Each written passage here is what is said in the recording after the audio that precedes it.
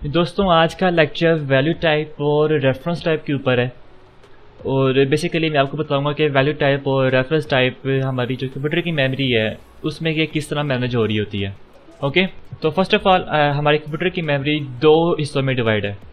एक है स्टैक और एक है हीप स्टैक का पोर्शन हीप से बहुत छोटा होता है तो इसलिए बाज़ात आप एक्सेप्शन देखते होंगे। सी प्लस प्लस के अंदर अगर आपने प्रोग्रामिंग की है, उधर एक्सेप्शन आती थी स्टैक ओवरफ्लो स्टैक ओवरफ्लो इसलिए इसलिए एक्सेप्शन आती है क्योंकि स्टैक फिल हो जाता है बहुत जल्दी।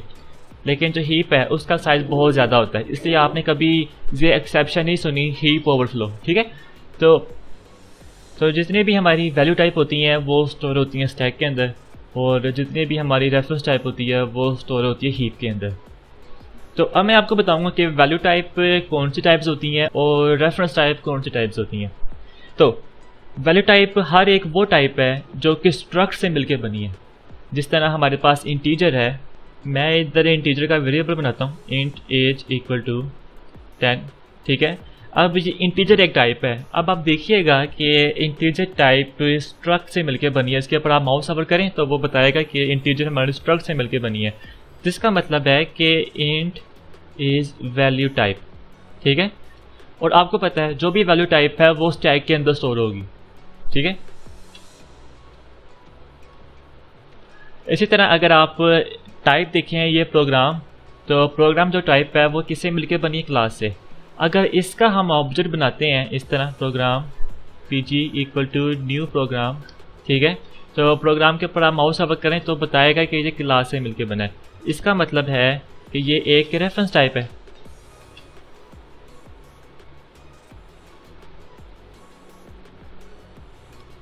और जितनी भी रेफरेंस टाइप होंगी, वो स्टोर होंगी हीप के अंदर। ठीक है? तो ये बेसिक कॉन्सेप्ट मैंने आपको बताया है। तो अब मैं आपको इनकी वर्किंग समझाता हूँ कि मेमोरी में ये किस तरह ऑब्जेक्ट एक के ऊपर एक स्टोर हो रहे होते हैं। अगर आपको इसकी समझ आ जाएगी तो आपको ऊप की समझ आ जाएगी, ठीक है? तो ये लेक्चर आपके लिए बहुत इंपॉर्टेंट है। तो आपने बहुत कॉन्शियस होकर ये लेक्चर सुनना है। तो इस लेक्चर को हम स्टार्ट करते हैं वैल्यू टाइप से, ठीक है? तो मैं एक स्ट्रक बनाता हूँ। और इसका नाम मैं रख देता हूँ स्टूडेंट और इसके अंदर रखता हूँ public int age public int marks okay तो मैं क्या करता हूँ इधर? स्टूडेंट का एक ऑब्जेक्ट बना लेता हूँ और S T D dot age equal to ten and S T D dot marks equal to hundred okay okay, अब मैं आपको बताता हूँ कि जब ये प्रोग्राम कंपाइल होगा रन होगा एग्जीक्यूट होगा तो उस सूरत में जो ऑब्जेक्ट है स्टूडेंट का ये कंप्यूटर मेमोरी में किधर स्टोर होगा? तो मैंने आपको बताया कि हमारी जो कंप्यूटर मेमोरी है वो दो हिस्से में डिवाइड है वो मैं इधर बना देता हूँ ठीक है? सपोज़ करें ये जो बॉक्स है ये हमारी कंप्यूटर मेमोरी है ठीक है? तो एक जो इसका हिस्सा है छोटा सा वो हिस्सा है इसका स्टैक का मैं इधर बना देता हूँ ठीक है? और इधर मैं लिख देता हूँ स्टैक और दूसरा जो बाकी का हिस्सा है, वो है हीप तो आप खुद देख रहे हैं कि स्टैक रिलेटिवली बहुत संभाल है हीप से. तो आप देख रहे हैं कि जैसे ही ये प्रोग्राम रन होगा, जैसे ही ये बड़ी लाइन एग्जीक्यूट होगी तो होगा ये कि जो स्टूडेंट का ऑब्जेक्ट है, वो इधर बनेगा. तो स्टूडेंट का ऑब्जेक्ट का साइज़ कितना होगा, जितनी उसके अंदर टाइप्स डिफाइन होगी, ठीक है? तो इसके अंदर दो टाइप्स डिफाइन है इंटीजर की. तो इसका मतलब है इधर एक बॉक्स बनेगा, ठीक है?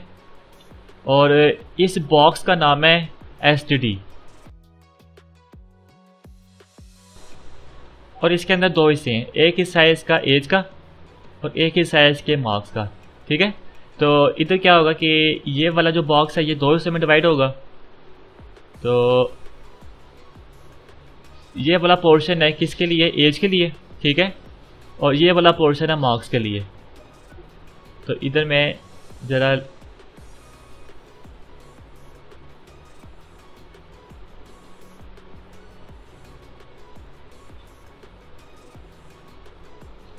ठीक है? तो ये हमारा एक ऑब्जेक्ट बना हुआ है स्टूडेंट का कि जिसके दो हिस्से हैं, एक एज का और एक मार्क्स का।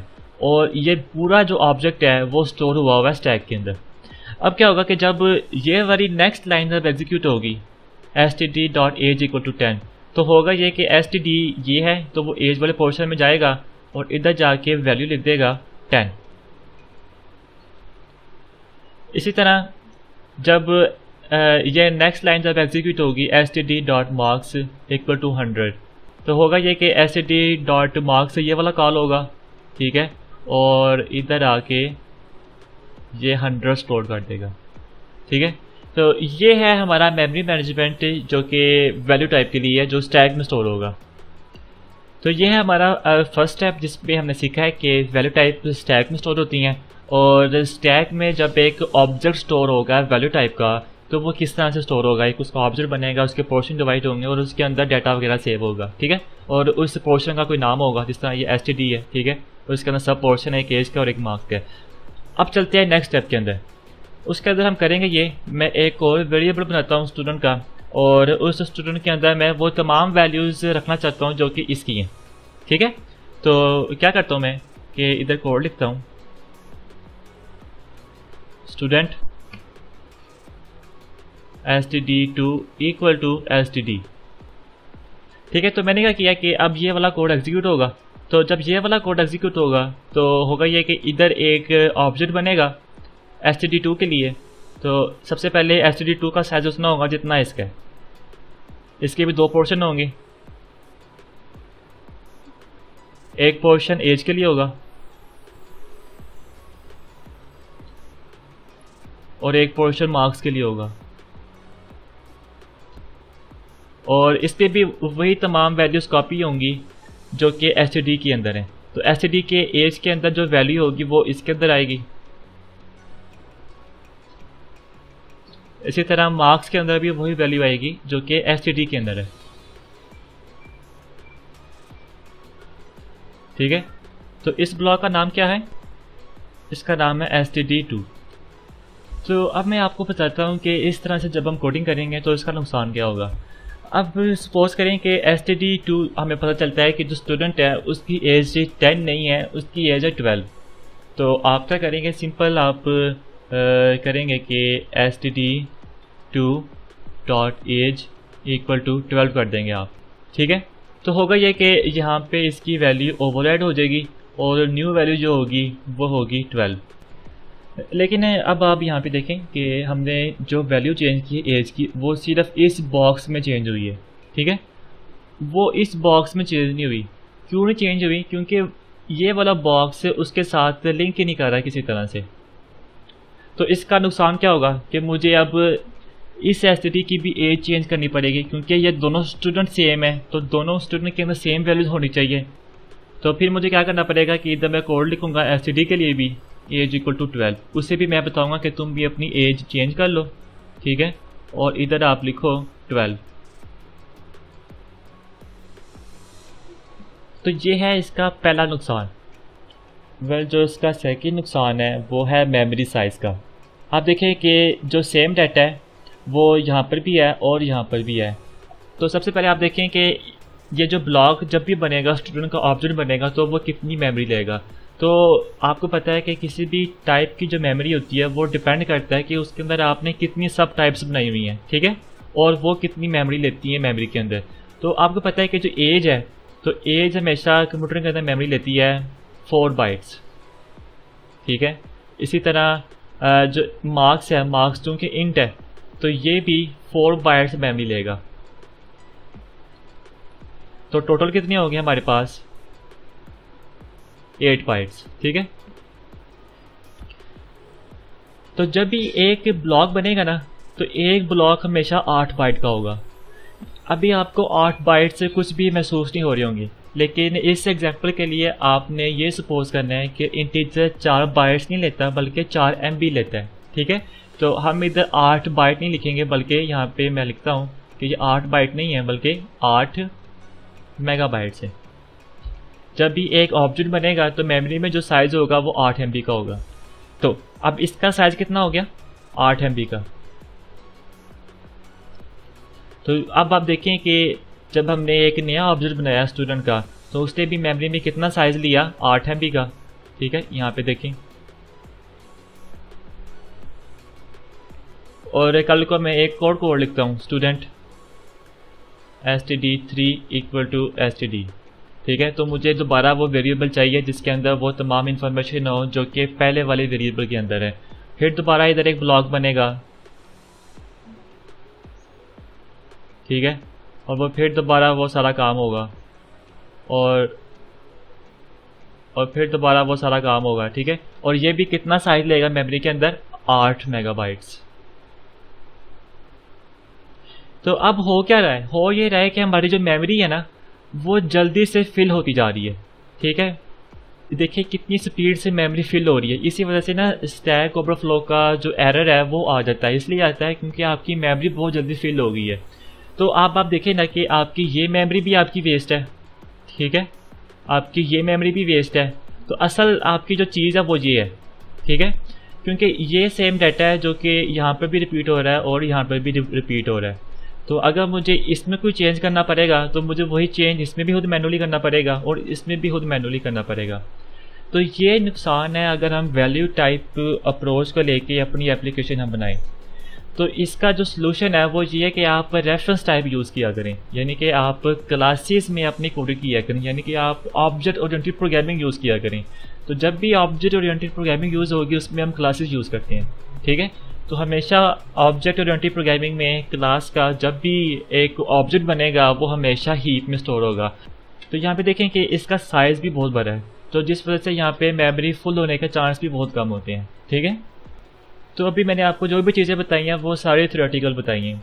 तो अब मैं उसको इम्प्लीमेंट करके बताता हूँ कि जब हम एस टी डी की वैल्यू जब एस टी में कॉपी करेंगे और वही वैल्यू जब एस थ्री में कॉपी करेंगे तो वो सारे इंडिविजुअल अपनी मेमोरी लेंगे। जिसका मतलब है कि जब हम एस की एज चेंज करेंगे तो वो वाली वैल्यू एस टी में रिफ्लेक्ट नहीं होगी, ना ही एस थ्री में। ठीक है? तो इसको हम इम्प्लीमेंट करते हैं। तो मैं तो क्या करता हूँ कि student S T D two equal to S T D और student S T D three equal to S T D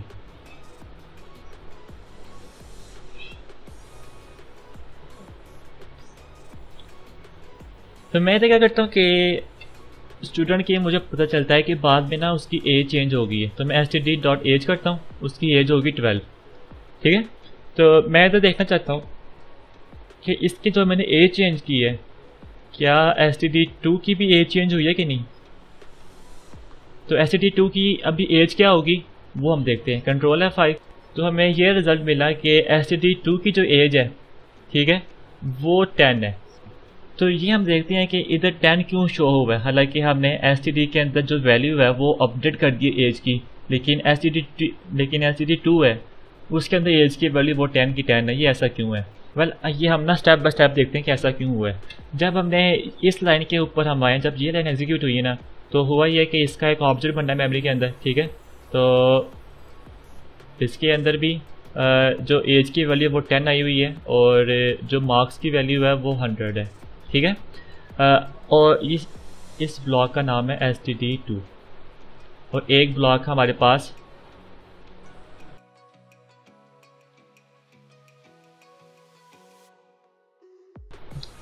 तो एक ब्लॉक है हमारे पास एसटीडी और एक ब्लॉक है हमारे पास एस टी जब ये वाली लाइन एग्जीक्यूट हुई है तो ये वाला ब्लॉक मेमोरी के अंदर बन गया। ठीक है? तो फिर बाद में जब हमने एस डॉट एज की वैल्यू चेंज की है ना तो इसने क्या किया? सिर्फ़ इसकी वैल्यू चेंज की है। तो यहाँ पे क्या आ गया? ट्वेल्व तो ये वाली वैल्यू आप देख रहे हो कि एस टी में रिफ्लेक्ट नहीं हुई। जिसका नुकसान क्या हुआ है कि मुझे खुद ही मैनुअली एस टू की वैल्यूज़ को चेंज करना पड़ेगा। ठीक है? तो इधर आके जब मैं S T D two dot age equal to twelve करूँगा, फिर वो चेंज वहाँ पे रिफ्लेक्ट होगा। ओके अब हम लेक्चर के सेकंड पार्ट की तरफ़ शिफ्ट करते हैं। उस पर हम करेंगे ये कि जो टाइप हमने स्ट्रक्चर बनाई है, उसको हम क्लास में कन्वर्ट कर देंगे। और देखेंगे कि जब हमने इसको क्लास में कन्वर्ट किया है तो अब देखेंगे कि मेमोरी मैनेजमेंट में इसका बिहेवियर किस तरह चेंज होगा। तो फ़र्स्ट मैंने आपको बताया लेक्चर के स्टार्ट में जो भी टाइप क्लास से मिलकर बनी होगी, उसका जब भी हम ऑब्जेक्ट बनाएँगे, वो हम, वो हमेशा रेफरेंस टाइप होगा और हमेशा रेफरेंस टाइप हीप में स्टोर होगा। यानी कि स्टूडेंट का ये वाला जो ऑब्जेक्ट है, ठीक है, ये मेमोरी में हीप के अंदर स्टोर होगा। तो चलें, इधर हम बनाते हैं एक सिमुलेट मेमोरी का कंप्यूटर मेमोरी का। तो आपको पता है कि ये वाला पोर्शन है स्टैक के लिए, जो छोटा सा है। और ये वाला पोर्शन है हीप के लिए, ठीक है? इधर मैं लिख देता हूँ, ये है हीप और ये है स्टैक ठीक है? अच्छा तो जब ये वाली लाइन एग्जीक्यूट होगी ना तो इस लाइन के अंदर ना दो पोर्शन है। पहला पोर्शन है कि एक एस एक वेरिएबल है और एक ऑब्जेक्ट है, ठीक है? तो जितने भी वेरिएबल होंगे ना, वो हमेशा स्टोर होंगे स्टैक के अंदर। और जितने भी ऑब्जेक्ट होंगे, वो हमेशा स्टोर होंगे हीप के अंदर। ठीक है? तो ये कॉन्सेप्ट आपने याद रखना है। तो मैं इधर क्या करता हूँ कि सबसे पहले इधर एस एक में बना लेता हूँ। और आपको पता है कि जितने भी वेरिएबल जो रेफरेंस टाइप के होते हैं, उनका जो मेमोरी के अंदर जो साइज़ होता है, वो हमेशा फोर बाइट्स का होता है। जब एसटीटी अपनी मेमोरी एलिक्यूट करेगा ना स्टैक के अंदर तो होगा ये कि ये सिर्फ़ टू बाइट की मेमोरी लेगा। ठीक है? तो इस टू बाइट के अंदर सिर्फ़ और सिर्फ़ रेफरेंस स्टोर होगा। तो मैं इधर इसका नाम लिख देता हूँ कि इसका नाम है एसटीडी ओके अभी इसके अंदर कुछ भी नहीं है, क्योंकि अभी हम सिर्फ़ यहाँ तक पहुँचे हैं। अभी ये थोड़ी लाइन एग्जीक्यूट नहीं हुई। तो अभी इसके अंदर कुछ भी नहीं है मतलब इसके अंदर नल है, ठीक है? तो सेकंड क्या हुआ है कि न्यू स्टूडेंट का ऑब्जेक्ट बना है। तो स्टूडेंट का ऑब्जेक्ट ही में रैंडमली कहीं बन देगा। स्टैक के अंदर हमने देखा था कि स्टैक के अंदर जो भी ऑब्जेक्ट बनता है ना, वो वो वर्टिकली बनते हैं। एक के ऊपर एक बनता है। लेकिन हीप में क्या होता है कि रैंडम कोई भी लोकेशन जो इसको अवेलेबल मिल जाए, वहाँ पे ऑब्जेक्ट क्रिएट कर देता है। तो सपोज़ करें कि कंप्यूटर को ना तो सपोज़ करें कंप्यूटर हमारा कहते हैं कि आप यहाँ पे ऑब्जेक्ट बनाए स्टूडेंट का। तो यहाँ पे स्टूडेंट का ऑब्जेक्ट बन जाएगा। ठीक है? तो वही सेम चीज़ें। तो ये वाला पोर्शन किस लिए होगा? ये वाला पोर्शन होगा एज के लिए और ये वाला पोर्शन होगा मार्क्स के लिए। ठीक है? तो अब आप देख रहे हो कि हमने ऑब्जेक्ट बनाया हुआ है, लेकिन इस ऑब्जेक्ट का ना कोई नाम नहीं है। तो हीप के अंदर ऑब्जेक्ट का नाम नहीं होता, बल्कि होता ये है कि जिस जगह वो सेव होता है, उसकी मेमोरी लोकेशन का एक एड्रेस होता है। तो सपोज़ करें कि जिस जगह ये सेव है तो उस मेमोरी एड्रेस का नाम है ए बी सी ठीक है? तो अब होगा ये कि जो इसका एड्रेस है ना मेमोरी का, वो एड्रेस सेव हो जाएगा इसके अंदर, ठीक है? तो इसके अंदर आ जाएगा ए बी सी ठीक है? तो मैं ये इसका ना कनेक्शन यहाँ बना देता हूँ कि इसका कनेक्शन इसके साथ है। जो अब सेकेंड लाइन जब एग्जीक्यूट होगी ना तो क्या होगा? S T D dot age तो एस टी डी ये ए बी सी है, ठीक है? तो वो मेमोरी में फ़ौरन यहाँ पे आ जाएगा। तो इसके जब हम एज के अंदर जाएँगे तो यहाँ पे आके ये स्टोर कर देगा टेन ठीक है? इसी तरह जब जिस इसी तरह जब जो थर्ड लाइन एग्जीक्यूट होगी तो S D dot box hundred है तो एस डी देखेगा ये इसका रेफरेंस है तो वो मेमोरी में चला जाएगा, ये ए बी सी इसका रेफरेंस है तो इसके मार्क्स के अंदर जाके ये स्टोर कर देगा हंड्रेड अब नेक्स्ट टाइम ना मैं इधर एक कोड करता हूँ कि स्टूडेंट एक और आप बनाए student S T D two उसके अंदर आप वो तमाम वैल्यू सेव कर दो जो कि एस टी डी के अंदर है। ठीक है, इसी तरह student S T D three उसके अंदर भी आप वो तमाम वैल्यू सेव कर दो जो कि एस टी डी के अंदर है। तो होगा ये कि ये जो स्टूडेंट है, इसका जो वेरिएबल है रेफरेंस का, वो बनेगा यहाँ पे। तो आपको पता है कि रेफरेंस टाइप का जो वेरिएबल होता है, उसका जो साइज़ है, वो हमेशा फोर बाइट्स ही रहेगा। तो मेमोरी में एक बनेगा रेफरेंस टाइप का वेरिएबल और इसके अंदर वो बड़ी वैल्यू स्टोर होगी जो कि एस के अंदर है। तो एसटीडी के अंदर क्या स्टोर है? ए बी सी तो यहाँ पे सिर्फ़ ए बी सी स्टोर होगा। ठीक है? ए बी सी तो इस वेरिएबल का नाम क्या है? इसका नाम है एस टी इसी तरह। यहाँ पर भी एक नया वेरिएबल बनेगा, जब एस थ्री एग्जीक्यूट होगा ये वाला। ठीक है? तो इसके अंदर भी वो वाली वैल्यू आएगी जो कि एस टी डी के अंदर है, और वो है ए बी सी तो इसका नाम क्या है? एस टी डी थ्री ठीक हो गया?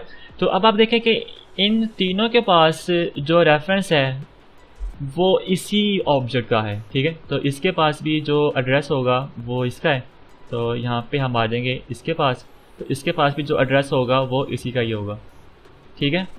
तो नेक्स्ट टाइम अगर मैं ये वाला कोड करूँ कि यहाँ पे मैं आऊँ तो मुझे पता चले कि एस की जो एज है, वो टेन नहीं है, वो ट्वेल्व है।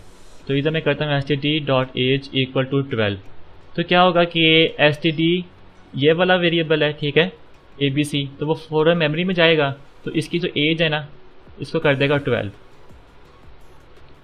तो जैसे ही इसने इसको ट्वेल्व किया है तो देखिए होगा ये कि जब भी एस टी टू जब एज कॉल करेगा तो वो फिर यहाँ पे जाएगा तो इसको वो अपडेटेड वैल्यू मिलेगी जो कि ट्वेल्व होगी। तो इस अप्रोच का फ़ायदा ये हुआ है कि मेमोरी के अंदर जो ऑब्जेक्ट बना हुआ है, उसकी रेपिटेशन नहीं हुई, ठीक है? तो जब भी उसको, उसकी कोई वैल्यू चाहिए होती है तो हम उसका एड्रेस दे देते हैं, क्योंकि एड्रेस हमेशा फोर बाइट्स ही होता है। तो अब बेशक ये बड़ी मेमोरी आठ एम की हो या आठ जीबी की हो, मैं सपोज़ कर लेता हूँ कि इसका साइज़ है आठ एम ठीक है? जिस तरह हमने पिछले लेक्चर में जब हमने बात की थी स्ट्रक्ट के ऊपर तो उसका जब हमने ऑब्जेक्ट बनाया था तो हमने उसका साइज़ भी आठ एम रखा था तो हम इसका साइज़ भी रखते हैं कि ये आठ एम का है। अब आप देखें कि जो रेफरेंस टाइप है, उसका साइज़ कितना है? उसका साइज़ है फोर बाइट्स इसका भी साइज़ है फोर बाइट्स और इसका भी साइज़ है फोर बाइट्स तो टोटल हमारा जो मेमोरी का साइज़ होगा इस वक्त, वो क्या होगा? इधर हम कैलकुलेट करते हैं। Eight M B plus four bytes plus four bytes plus four bytes. तो टोटल जो हमारा इसका आंसर आएगा, वो आएगा eight point zero zero zero twelve M B ठीक है? तो ये देखें कि इसने हमारी मेमोरी अप टू मैच कितनी कर दी है। अब हम चाहे जितने मर्ज़ी वेरिएबल बना लें स्टैक के अंदर, ठीक है? उसका साइज़ हमेशा बाइट्स में होगा तो वो हमेशा एक ही ऑब्जेक्ट को रेफरेंस कर रहा होगा। ठीक है? तो देखें कि हमारी जो मेमोरी है उसका साइज़ भी हमने मैनेज कर लिया है।